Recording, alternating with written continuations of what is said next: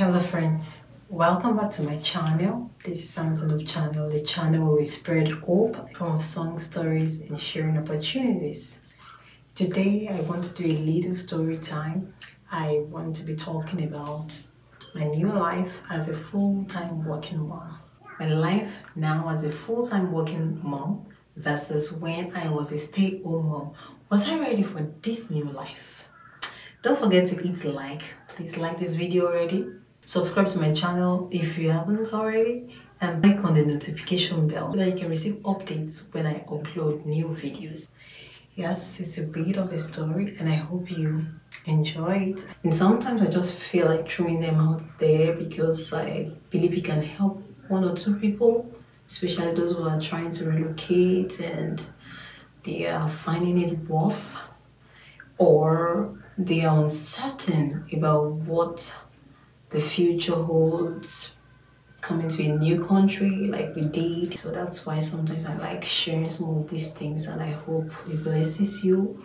I hope God uses it to meet you at the point of your needs. And I hope you like it.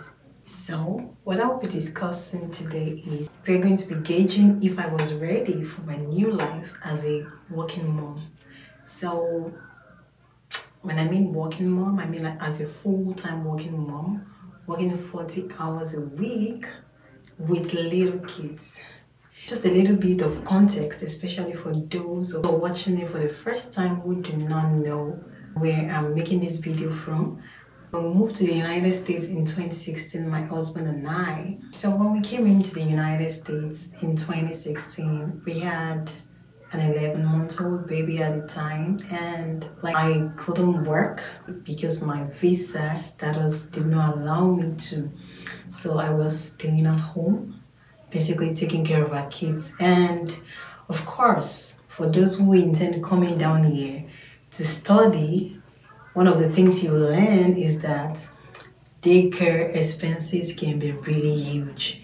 And that's why even in the environment itself in the united states generally everyone just look at what works best for them for their family because of the cost of childcare. Some parents will prefer to stay home. It could be the mom. Usually it will be the mom or in some cases the husband depending on who earns more the person stays at home to take care of the kids. I couldn't stay at home and that is why it's important for you to know yourself. What works for a may not work for b. For me i've discovered that i'm happier if i am working. I believe i feel more fulfilled and staying home 24 7 doesn't look doesn't fit me well. Isn't emotionally good for me. So you have to know what works for you what does not work for you. Yes like i said this is story time and life update about me. Was i ready? So i told you i moved on from you know staying at home. That continued of course for a couple of years since 2016 up until 2019 when I decided that it was time to go back to school. And at the time, I had two kids already in 2019 before I went for my master's. So what happened was, of course, before this time, between 2016 and 2019, trust me, I was doing other things. I was doing a lot of all other things that I could do within the confine of, you know, the home and just a little bit. I had skill. I had skill. I, I was into fashion designing. Of course, I had that skill and, you know, I was doing the bits that I could do with it, with tailoring and everything. So that's just to tell you that I wasn't really sitting down and doing nothing. No. Seriously, I feel like stay-at-home moms are doing a really great job. At least I'll give them that kudos because I've been there, I've tasted both, especially in this part of the world. You remember I told you that you can daycare is so expensive here and at some point if you're relocating maybe from Africa down here you want to consider a lot of things. Are we going to be whatever you're earning, especially if you didn't have you, don't have a full-time job yet, maybe you came in as a student like we did, you want to consider a lot of things like okay, if we uh, put schooling or one is working, do I want to really be pumping this money that I'm earning and it's not so much to take care? And then it boils down to strategizing and planning with within this uh, home. I mean, husband and wife agreeing on what works best for them. So 2019 came, I went for my master's program and I was a part-time employee in my school because that was what my visa when I changed to F1 allowed. So I would, I would work 20 hours and of course I was a hard worker, they will tell you that because when I was going to have my third baby, I remember I was working and I fell into labor.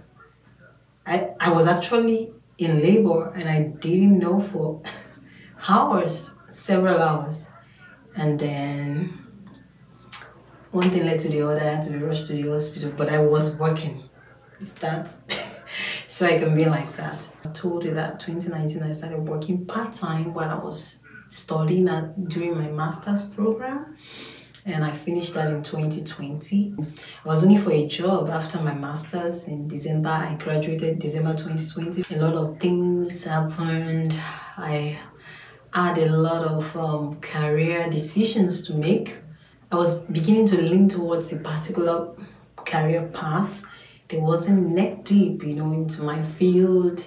And I started trying things out. I did a, like a certification, see where that gets me and everything. I was just interested in this because I did some programming and I wanted to pursue that. But interestingly, I didn't get a job as quick as I thought I would. And of course, yeah, it was COVID period.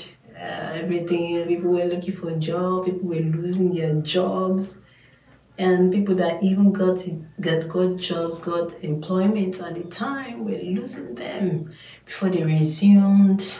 2020, I was home after sending in some applications. I got some interviews, but of course, I didn't get a job and I've been home since then all until February 2022 this year. So we relocated late last year, July 2021 to New York. I was just tired of looking for a job, honestly, about it. I'm not looking for any job again. I just want to be. and I can be like that sometimes, you know. I can be really determined and sometimes and I feel like I've just had my full, I need a break. I go for it. So I just decided, well, no more looking for jobs, I don't care. So I was home, we were settling in, it was a new environment. There's a lot of adjusting to do. We got the kids settled into their new school, and I had a one year old at the time.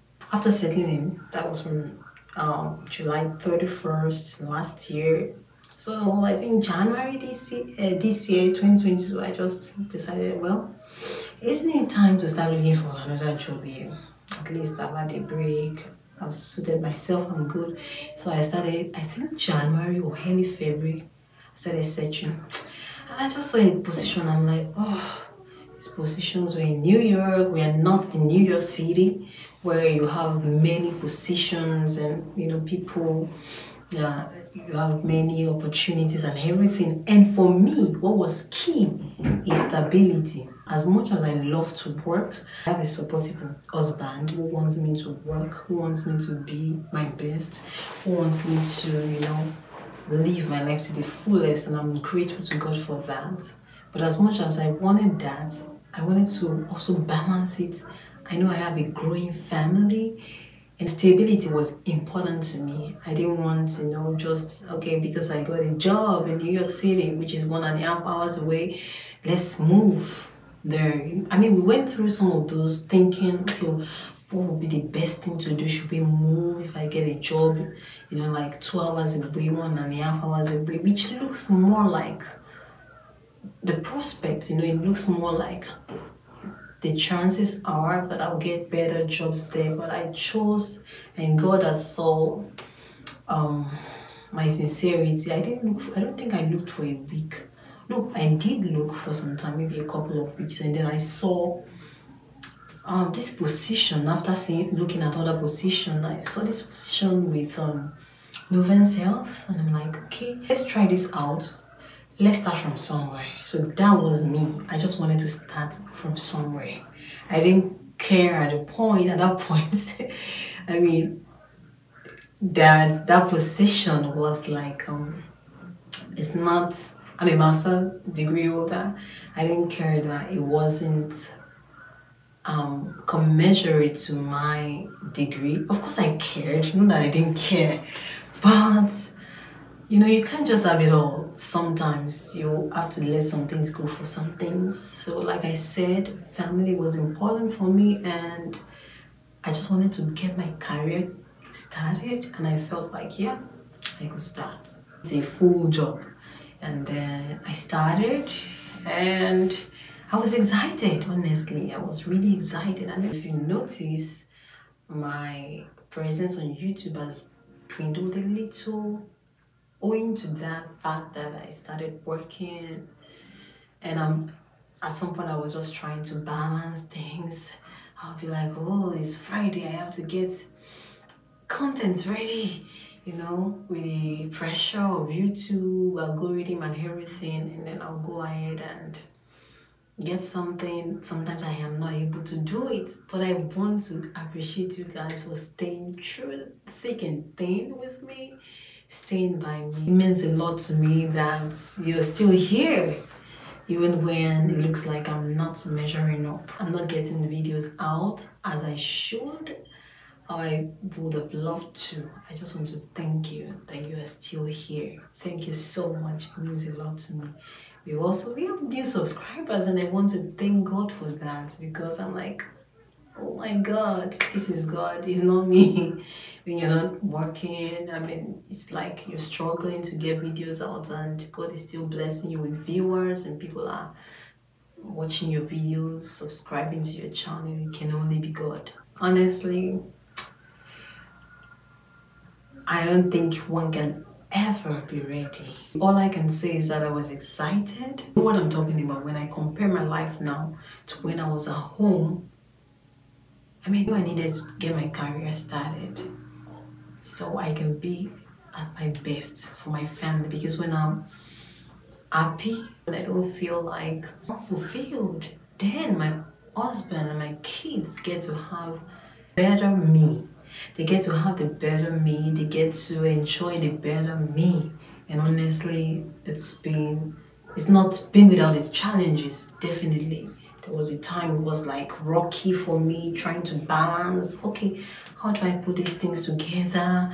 How do I do this? Oh my God, this is so challenging and everything. But I'm taking it one day at a time. Yeah. A lot of things I've learned. I've learned to be better organized, even with the kids, doing a lot of organization now. Thank you for staying with me.